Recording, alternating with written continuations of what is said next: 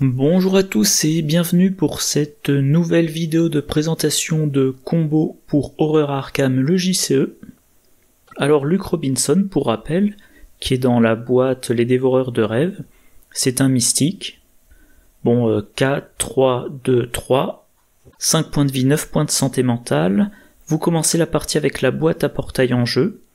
À chaque tour, vous avez le droit de jouer un événement comme si vous étiez dans un lieu connexe et engagé avec chaque ennemi dans ce lieu. Signe des anciens, plus un, placez une charge sur la boîte à portail.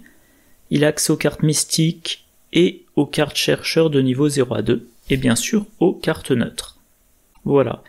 Euh, donc, c'est une combo pour Luke Robinson.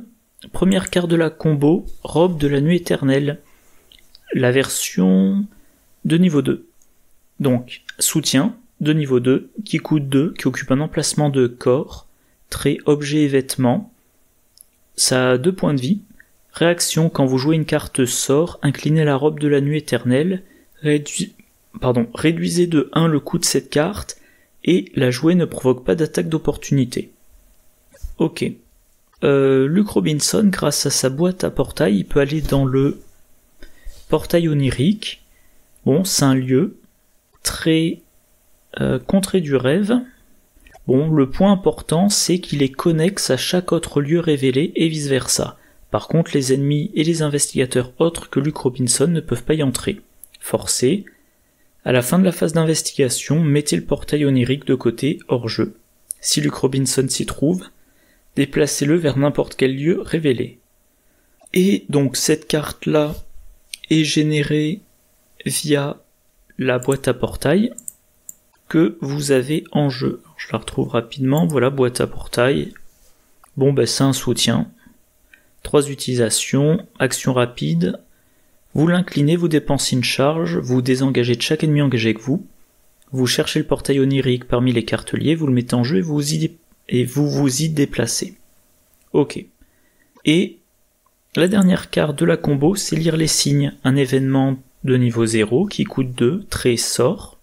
Enquêtez, ajoutez votre volonté à votre valeur de compétence pour cette attaque. Vous pouvez ignorer tout effet ou mot-clé de votre lieu qui devrait se déclencher lors de cette enquête. En cas de réussite, découvre un indice supplémentaire dans ce lieu. Donc concrètement, Luke Robinson, il utilise la boîte à portail pour aller dans le portail onirique. Une fois qu'il est dans le portail onirique, il est considéré Enfin, il est dans un lieu considéré comme connexe avec tous les autres lieux révélés. Du coup, Luke Robinson, il utilise euh, son sa capacité, voilà. Il joue un événement comme s'il était dans un lieu connexe engagé avec les ennemis. Il joue lire les signes. Lire les signes, c'est un sort. Du coup, il peut incliner la robe de la nuit éternelle. Il réduit le coût de 1, donc maintenant ça ne la coûte plus qu'un. Et surtout, il ne se prend pas d'attaque d'opportunité. Donc depuis sa boîte, depuis pardon, le portail onirique, il va jouer pour une ressource lire les signes, et il va pouvoir le jouer dans un lieu révélé avec un ennemi sans se prendre d'attaque d'opportunité. Alors que bon bah c'est une action d'enquête, donc il, sans la robe, il se prendrait une attaque d'opportunité. Et enfin, pour rappel, lire les signes c'est un sort, on peut l'attacher à Diana Espérance. Voilà. En action rapide, on l'attache à Diana Espérance. Et ensuite, on peut le jouer. Euh, on peut le jouer comme si c'était depuis la main, sans. Enfin, je vais le lire, ça sera plus simple. L'événement attaché peut être joué comme s'il était dans votre main. Il n'est pas placé dans votre pile de défausse après avoir été joué. Il reste attaché. En tant que coup supplémentaire pour jouer l'événement attaché, inclinez Diana Espérance et dépensez un secret.